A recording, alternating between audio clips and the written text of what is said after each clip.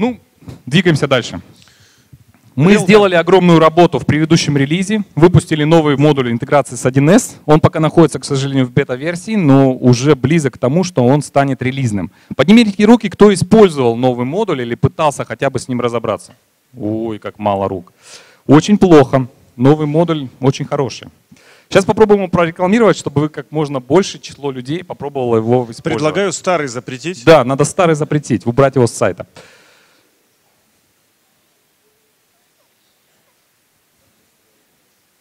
Двигаемся.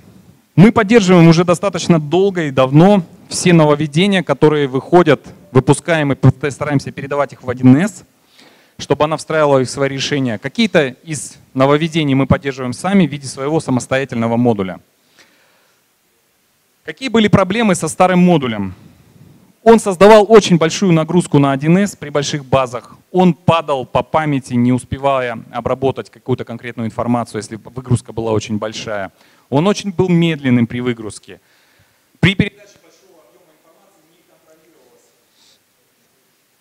Не контролировалась передача, соответственно, при каком-то падении оно возвращалось и заново приходилось перекачивать полностью всю эту информацию. Были проблемы с картинками. Они гонялись в полном объеме. Соответственно, выгрузка, вот я как говорил, мы разговаривали, работали вот с клиентом последний раз. У него полная выгрузка более 60 гигабайт. 60 гигабайт просто даже передать с 1С, с локального офисного компьютера на в мир на сайт, это занимает достаточно большую продолжительность времени. Я Каналы думаю, что они все хорошо да, знают боль. Достаточно. Не надо им пересказывать. Окей. Основные настройки обмена. Вот так они стали выглядеть. Но это вообще, вообще модуль был полностью переписан. То есть модуль это, пол, это не переделка, это не реконструкция старого, это полностью переписанный модуль. Он сделан уже не как встроенная часть, а как отдельно инсталируемый. Он не снимает 1С поддержки. И вот эта вот вся переработка ставила основной целью уменьшить трафик, ускорить обмен и самое главное, сделать его реалтаймом. Мы сейчас вот как раз все эти запчасти покажем. Да. Поэтому то, что вы не попробовали, это временно. Пробуйте. Мы переходим на этот обмен. Основные настройки, так они выглядят. Что изменилось в основных настройках? Появилось два новых режима обмена. Вы можете обмениваться пользовательскими справочниками, это наши highload блоки. И вы можете использовать реальный режим обмена. Вот эти две настроечки. Появился контроль, появился контроль ошибок. Если произошла неудачная выгрузка какой-то информации, а мы делим сейчас информацию на определенные связанные блоки, блоков может быть большое количество, происходит контроль. Если блок не передан, передается повторно только данный маленький блок. То есть контролируется каждый процесс выгрузки, каждый блочок контролируется и передается только этот блок. Не перекачивается вся информация. Если вы передаете 60 гигабайт, у вас где-то в конце все упало, вы не будете ждать полностью передачи 60 гигабайт, вы будете ждать только последний кусочек. Кусочек, кусочками деления устанавливайте так, как нужно вам, то есть гибко можно настраивать. Появилась отличная, замечательная возможность работать с какими-то логами. То есть после того, как 1С сделала передачу информации, она на сайт передает и свой лог. То есть все, что делалось внутри 1С, передается в виде лога. Очень тяжело раньше было видеть, что происходит внутри 1С, особенно когда вы работаете только с сайтом. 1С занимается какой-то другой специалист, который сторонний редко приходит. Теперь вы получаете лог на сайт. Этот лог можете смотреть. Он хранится последние три выгрузки. Также вы можете сохранять файлы для обмена, которые происходили. То есть обмен произошел, пошел следующий обмен, файлы предыдущего обмена затираются. Теперь вы можете их отдельно сохранять, тоже сохраняются последние файлы. Очень аккуратненько включайте эту галочку, если у вас выгрузка 60 гигабайт, у вас на винчестере может место закончиться. То есть аккуратнее с этой галочкой. Реалтаймовый режим обмена включается одной галочкой, которая появилась внутри системы. Давайте посмотрим, как он работает. Вот мы включаем галочку использования реалтаймового режима. Делаем обмен, запускаем обмен в режиме реального времени. Делаем заказ внутри продукта. Выбираем парочку товаров. Вот два товара, устраивают они нас. Выбрали клиента, оформляем заказ. Все, заказ сохранен, переключаемся в 1С. 1С не умеет рефрешиться, то есть нужно рефрешнуть 1С. Мы видим этот заказ, видим наши два товара, которые сюда переданы. Кондиционер и телевизор. Да, кондиционер и телевизор. Удаляем телевизор, нам он не нужен. Меняем его количество, сохраняем заказ.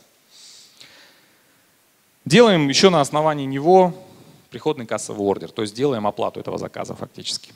Переходим внутрь системы. Вот, рефрешнулась страница, заказ сюда пришел, показано, что заказ оплачен, стоит галочка, заходим внутрь этого заказа и видим, что произошло изменение, что телевизор был убран, у кондиционера появилось количество 2.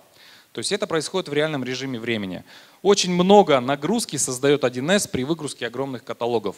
Подключая такой режим, вы размазываете эту нагрузку фактически в течение суток. Снимается нагрузка с сервера, снимается нагрузка с 1С, и как бы достаточно быстро все происходит. Что требуется для включения? Еще раз. Не требуется дополнительных настроек, нужно обновиться до версии 14.5, скачать новый модуль 4X, включить галочку в настройках 1С, и все. Ваш режим будет работать в реальном времени. Большая... Давай. Важно, что мы поддерживаем два варианта такой синхронизации. Это могут быть как серверные варианты, так и обычная конфигурация, которая стоит в виде локальной базы на локальном компьютере. То есть не нужно специально настраивать какой-то сервер, не нужно настройки какие-то специальные на стороне 1С. Может работать обыкновенная 1С с обыкновенной Но Вообще базой, это да. была большая победа, потому что первоначально серверные конфигурации только рассматривались как под, как поддерживающие э, real-time. Но их очень мало. В основном клиенты работают с обычными конфигурациями. И вот это была большая часть э, обмена. Это, это самая сложная часть. Мы разговаривали на предыдущей партнерке со многими людьми, кто занимался 1С. Один из клиентов только говорил, что всего два раза в жизни он делал серверную версию. И еще сейчас перед вашим вопросом очень важный момент, что мы не рассчитываем, что у вас железный и всегда работающий канал между системами. То есть с каждой стороны стоит очередь, что со стороны сайта, что со стороны 1С. Если вдруг падает, 1С постоянно будет пытаться поднимать соединение. То, что 1С является инициатором, вы хорошо проходите фаервол и внутреннюю безопасность, правильно устанавливаете. Если, например, обмен, ну, заказы или остатки накопились с двух сторон, то сразу при установлении соединения произойдет этот обмен, что, собственно, обеспечивает устойчивый реал-тайм. Придется поменять себе микрофон. А дайте другой. Близко. Все. Если разрыв соединения был продолжительное время, то реалтаймовый режим будет с отложенной как бы функцией. То есть пока вот это все, что накопилось. Придется поменять ему микрофончик. Давай.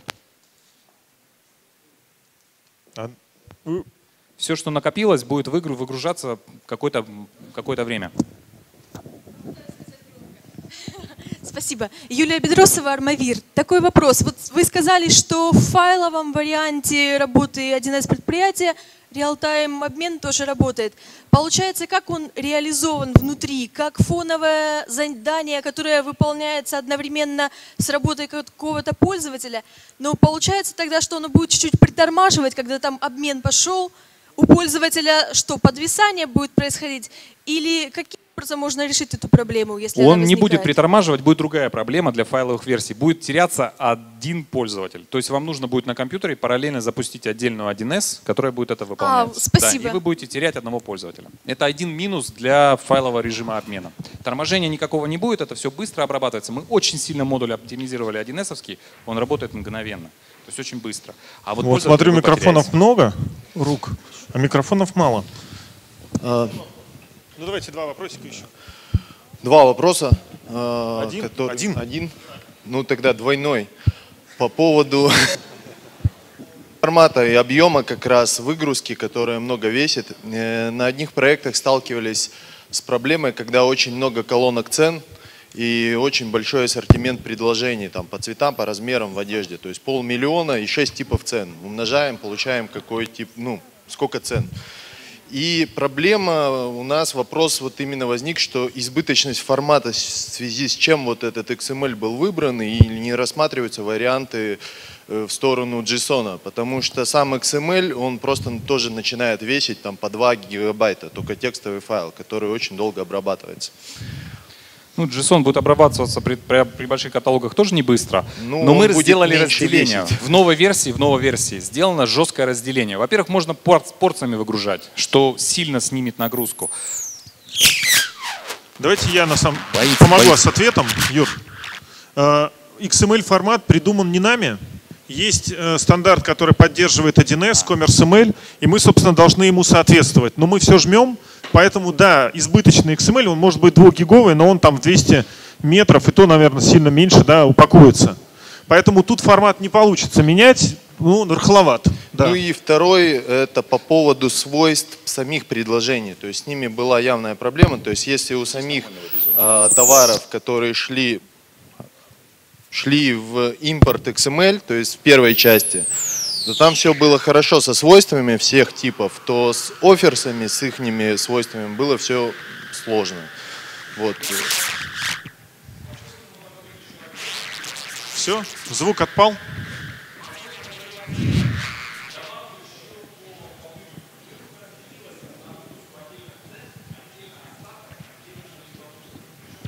Но свойства планируется в оферсы выгружать так же, как и в товары. Угу. Спасибо. Так, давайте мы сейчас вопросик зададим. Отдайте Юрий микрофон тут. А, Кирилл Мельничук, Альтерег. Вопрос по поводу реал-тайм обмена. А, добавился ли в нем в, в конце концов возможность, если мы полноценно интегрируем с 1С а, в реал-тайме, менять статус заказа после того, как статус товара оплачен? Будет отдельный слайд. Это возможно для 11 версии. Потому что на текущий момент э, невозможно, и когда клиент в 1С э, только работает с заказами с сайта, если клиент его оплатил уже на сайте, что-то с ним потом дальше делать. Почему? Мы же как, мы же как сейчас сказали, сейчас мы это будем на, на дальнейших слайдах Наоборот, разбирать. Да. Там по статусам не все так просто. В 10 версии есть ограничения. в 1С ставит статус доставлен, и он на сайт не уйдет. Окей. Давай, Юр, у нас буквально по, несколько по, минут, по, чтобы по, завершить. По мы говорим. Это конфигурация, я специально этот оставил слайд, пока были вопросы. Это те конфигурации, которые мы поддерживаем. То есть указаны версии, указаны страны, для которых мы поддерживаем конфигурации. Насколько я знаю, в ближайшее время выйдет украинская конфигурация, она завершается. Украину делает сама Украин, наше украинское подразделение, оно немножко с задержкой вышло. Казахстан, Россия, Белоруссия уже доступны. Поехали. Выгрузка товаров. А у тебя нет времени уже? Согласен. Ну, может, пройдемся по нему. Появилась возможность указывать, какое количество товаров выгружать за пакет, что тоже снижает нагрузку. Вы можете выгружать характеристики. Характеристики могут выбираться. То есть вы можете выгружать не все характеристики, которых там половина не нужно в 1С. Вы можете выбрать, какие конкретно характеристики выгружаются. Гибко работать со свойствами. Появилась галочка, которая заставляет принудительно выгрузить все картинки. У нас появилась версионность, и чтобы запустить механизм версионности, чтобы отслеживать картинки, картинки нужно один раз выгрузить принудительно. Данная галочка не сохраняется, то есть вы ее ставите, она автоматически снимается при следующих обменах. Картинки принудительно выгружаются, дальше запускается механизм версионности выгрузка цен и остатков. Вот как раз настройка выгружаемых свойств. Вы теперь можете регламентировать, куда выгружать свойства. Вы можете выгружать свойства в хайлот блоке, в списочное свойство, в обычное текстовое свойство. Можете указывать, какие свойства вам именно нужны внутри нашей системы. Плюс там есть галочка, которая говорит, что выгружать только те свойства, которые используются в товарах. То есть система сама автоматически выберет те свойства, которые нужно выгрузить. Очень гибкая работа с номенклатурой. Вы можете настраивать, какую номенклатуру, какие связанные свойства с этой номенклатурой должны попасть внутрь нашего продукта. Настраивается дерево групп. Очень частая была проблема, когда один и тот же товар выгружается в нескольких групп. 1С такую схему не поддерживает. У них один товар, одна группа. У нас может быть один товар, несколько групп. С помощью данного дерева можно эту настройку осуществить, и она не будет слетать при следующей синхронизации. Это была одна из больших проблем предыдущего модуля. Обмен заказами. Из нововведений к обмену заказами добавился также пакетный режим, то есть он снижает нагрузку. Можно указать точку актуальности. Теперь, если вы переходите на новый модуль, чтобы не бояться, что все испортится, когда вы выгружаете по заказам, когда у вас уже были синхронизации по заказам, вы можете указать конкретную точку актуальности, и данные будут выгружены только с этой даты.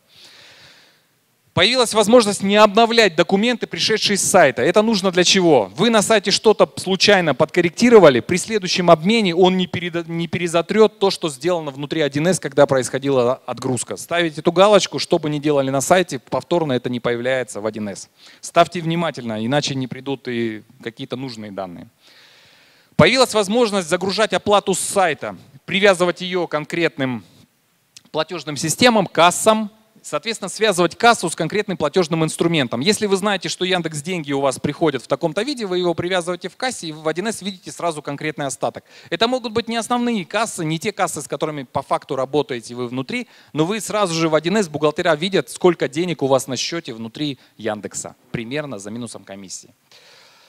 Появилась возможность работать со статусами. Статусы гибко настраиваются, но гибко настраиваются они только в 11 версии. В 10 версии, к сожалению, в 1С нет поддержки работы со статусами, поэтому с ними возникают и проблемы. Во-первых, статусы жестко ограничены в 1С. Они не соответствуют нашим статусам, некоторым. И они работают вот с некоторыми такими вот казусами. В 11 версии вы можете настроить именно те статусы, которые нужны на сайте, согласовать их со статусами, которые находятся внутри 1С.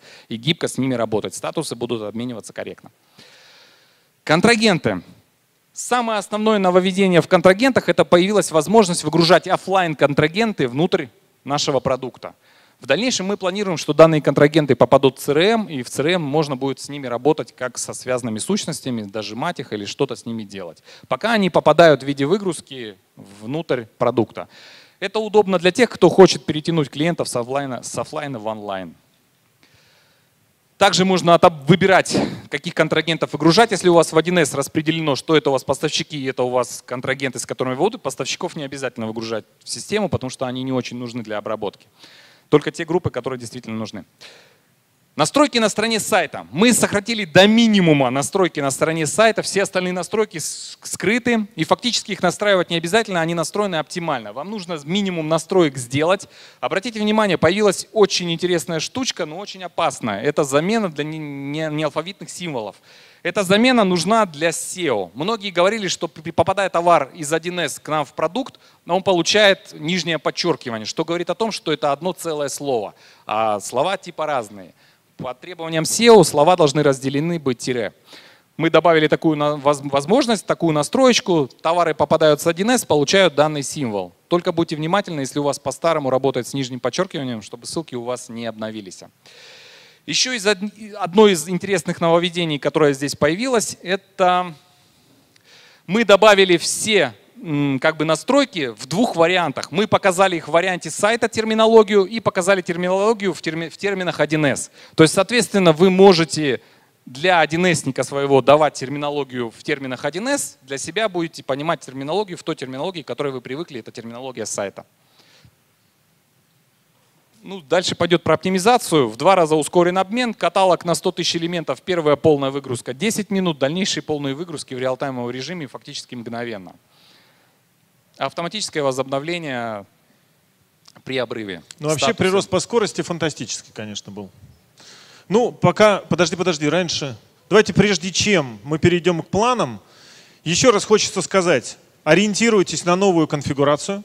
Она во многих вопросах, в большинстве вопросов намного лучше. Понятно, что просто так переключиться нельзя, но вот эта вот точка соответствия имеет большое значение. И еще раз хочу подчеркнуть, это огромное конкурентное преимущество real-time обмена с 1С. Раньше об этом только можно было мечтать. Как бы да, говорили про какое-то окно, про обмен, про регулярность, но на самом деле, когда мы говорим сегодня клиентам, реальный обмен с 1С – это большое преимущество, которым обязательно нужно пользоваться. Юра, давай э, вопрос из онлайна.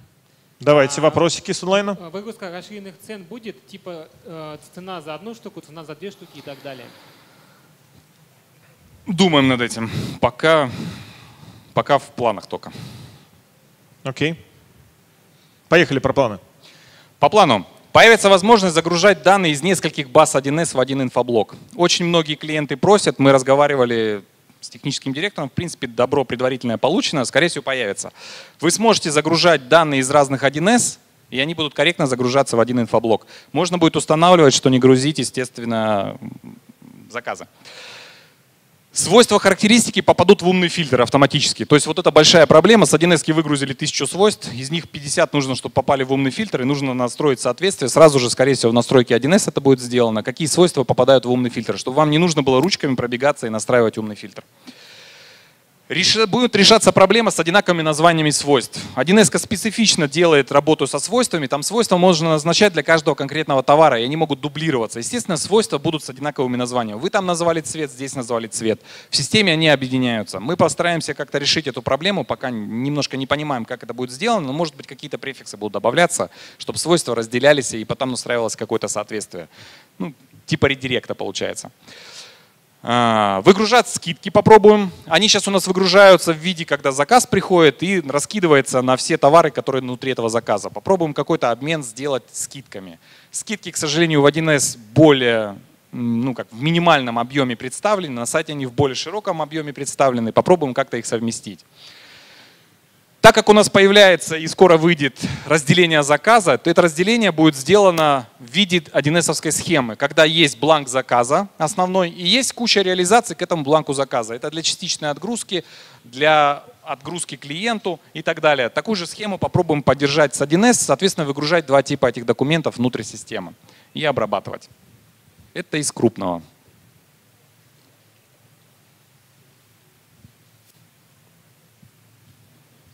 Коллеги, вопросы? пожалуйста, вопросы по 1С. Что бы хотелось дальше?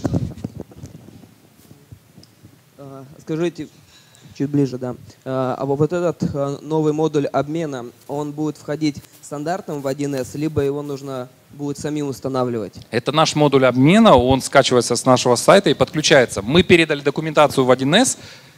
И ведется разработка, то да, есть на самом деле он будет функций. в итоге внутри, внутри коробки. Еще вопрос, э, связанный с отгрузкой свойств из 1С. Э, сейчас, например, нету множественных свойств. К примеру, списки, то есть, э, ну, к примеру, у нас есть одежда, ткань, и она из, состоит из, из многих видов тканей. Вот. Этого нету. Этого это действительно нету, мы знаем об этом. Будем работать, скорее всего, в обновлениях в каких-то добавим. Давайте вопросик еще. Здравствуйте. Быстрее, чтобы быстрее Будет задали. ли поддерживаться одновременная выгрузка несколько из 1С? Первый пункт. Нет, я имею в виду одновременно из одной базы. Ну, естественно, одновременно. То есть вы, мы не можем регламентировать, что вот этот вот 1С угу. захотелось сегодня, а это через два часа. Человеческий фактор. Оба нажали обмен, и все упало. Удаление товаров при выгрузке устройств удаления. Это тоже гибко, кстати, настраивается, что делать с товарами. Там есть настройка, она была на слайдах, я ее пропустил, но вы можете гибко в товарах настраивать, что делать с товарами, которых, например, нет на, на остатках. Да, удаление вы... свойств и последний вопрос. Да, да, да, будет, да. То есть там, там гибко можно настраивать это дело. И обработка огромного количества свойств по каждой выгрузке, там 200, 300, 1000 свойств. Ну, со свойствами вообще можете теперь гибко работать. Там можно все выделить галочками, что вы хотите реально видеть. И под каждый обмен их настроить. Нет, ну. оптимизация скорости обработки при обработке 300, 1000 свойств. Оно обработано. Вот каталог, который мы последний раз тестировали с Максимом, он не даст соврать. Тот каталог, который у клиента 60-гигабайтный, загружается внутрь системы сутки – у нас загрузился за 20 минут. Очень часто неоптимальная настройка серверной конфигурации, на которой все это стоит. Очень часто. Максим прям сидел, ругался, что это как же так надо настроить, чтобы сутки выполнялось, а у нас за там 15-20 минут. Мы не успели обсудить проблему, она уже у нас закончилась. Можно вопросик? Юлия Бедросова, Армавир. Еще вот такой вопрос по выгрузке справочников. Я видела сейчас, что в новом модуле обмена выгрузка справочников реализована всегда в Highload инфоблок. Будет ли в планах э, возможность сделать выбор, выгружать его в обычный инфоблок, в Highload инфоблок или в А, ну там есть такой выбор. Вы можете либо в списочное свойство выгружать, либо в Highload инфоблоке, либо вообще в текстовой строчке Просто выгружать. иногда клиентам нужно выгружать для поддержки, как говорится, старых версий. Конечно, конечно, инфоблок. конечно. Три варианта все поддерживаются. Ясно, спасибо. Можно вопрос? Александр, первый бит.